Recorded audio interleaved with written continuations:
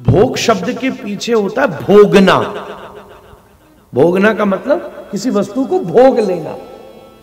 तो हम जो भोग धरते हैं, वो भोगने के लिए धरते हैं। हे ठाकुर जी, आप इसे भोग लो। भोगने का मतलब पूरी अच्छी तरह। चखना और भोगना में फ़र्क होता है। एक भोजन चखना होता है भोजन भोगना होता है।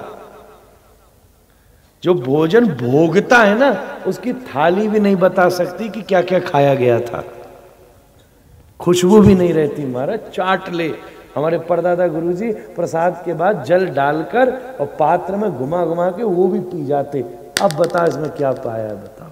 भोगना तो उसी को कहते थाली बिल्कुल सफ़ा चट तो पता ही नहीं क्या करें। बोले अच्छा ठाकुर जी ने पाया। बोले, फिर मैं कल आऊँगा, तू ही खिलाना, देखता हूँ। पिताजी छुप गए। खंबा के पीछे फिर आगे, नामदेव प्रभु, पात्र लेके लो, नाथ पाओ। नाथ पाओ नाथ पाओ नाथ पाओ। नाथ पाओ। बोले, नहीं, तुम्हारे पिताजी छुप रहे हैं। मैं कैसे पाऊँ? उनके सामने थोड़ी ना पा सकता हूँ। कभी तूने खाता, भगवान देखा है? नामदेव बोले, मैंने तो बोलता भी नहीं देखा था।